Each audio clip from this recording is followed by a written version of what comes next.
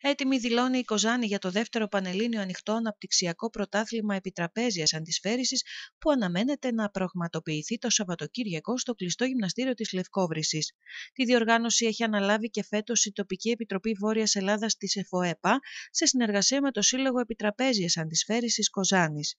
Οι αγώνες που θα διεξαχθούν αφορούν στις ηλικιακές κατηγορίες νέων, νεονίδων, παιδών, κορασίδων, παμπέδων, παγκορασίδων και μίνι παμπέδων.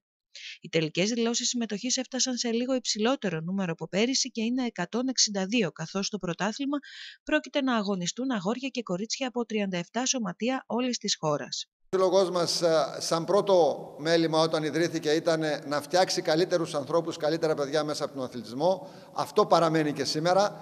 Μια μεγάλη παρέα ανθρώπων που μέσα από τον αθλητισμό προσπαθούν να προωθήσουν την ιδέα της αλληλεγγύης, του εθελοντισμού, του εφαγωνίζεστε και του γίνομαι καλύτερος άνθρωπος πρώτα για τον εαυτό μου και μετά για να προσφέρω στην κοινωνία. Πιστεύω ότι σε μεγάλο βαθμό αυτό το έχουμε καταφέρει μέσα από αυτό το σύλλογο γιατί όλοι είμαστε μια παρέα, είμαστε άνθρωποι που δουλεύουμε, δεν φοβόμαστε να δουλέψουμε παραπάνω για μας και για τα παιδιά μας και το αποτέλεσμα είναι αυτό στο οποίο ο πρόεδρος του Συλλόγου θα σας αναφέρει σε λίγο ότι η αναγνώριση και από την Ομοσπονδία την ελληνική είναι πλέον ε, πολύ μεγάλη.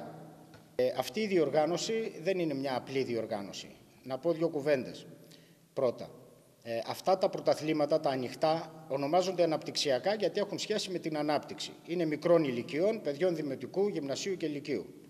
Η συμμετοχή σε όλα αυτά κυμαίνεται ε, περίπου πάνω κάτω 200 αθλητές και αθλήτριες από όλη την Ελλάδα.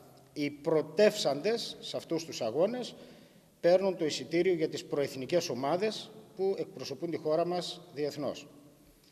Γι' αυτό, όπως καταλαβαίνετε, και το επίπεδο θα είναι αρκετά υψηλό.